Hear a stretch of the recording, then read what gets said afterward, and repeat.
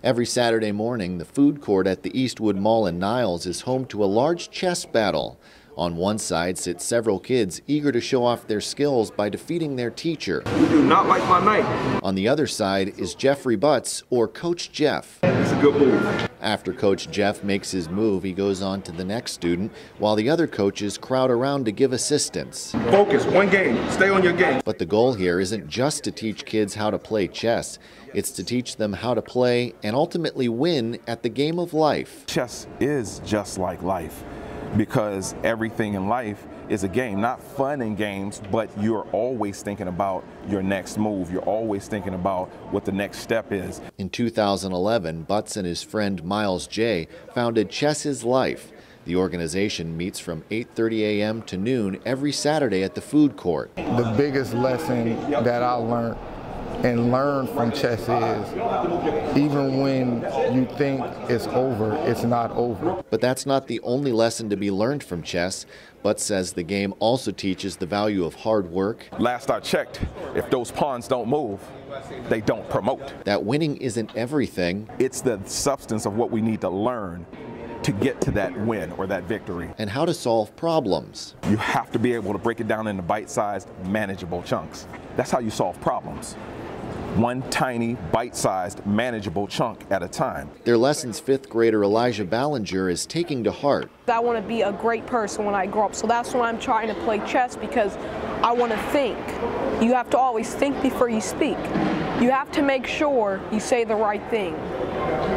You have to, um, you cannot do bad things in life and think that nothing's going to happen because it is. Patty Saferno of Howland brings her grandson Colin to Chess is Life nearly every Saturday. Number one, because he enjoys it. It stimulates him intellectually and coach looks at it as chess is life and all during the chess game he's teaching them values and those lessons are reaching more and more children every day Two years ago, Chess is Life partnered with the United Way of Youngstown and the Mahoning Valley to integrate its program into Success After Six.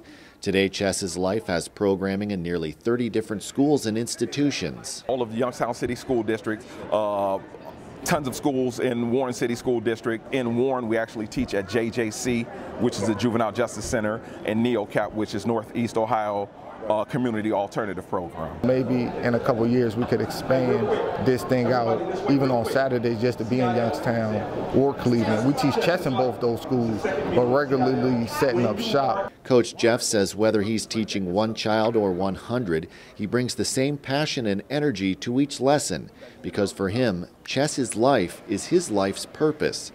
Years ago, while recovering from an accident that nearly killed him, he sought advice from his pastor. I was crying in my room and I said, I don't know why I'm still here.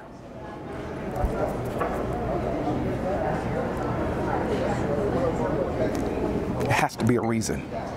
I feel like I need to save the world. And he looked at me, he said, son, one at a time, one at a time. You can read more on Chess is Life in the April issue of the Business Journal. Click the subscribe tab to order your copy today.